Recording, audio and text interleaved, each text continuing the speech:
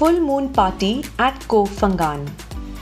Accessible by ferry from Koh Samui, it is one of the most famous party beach towns in the world.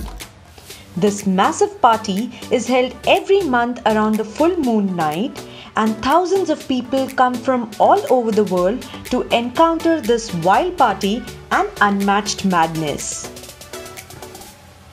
Even if you do not make it to the full moon party, there's always half moon party, quarter moon party, and black moon party to keep the party momentum going.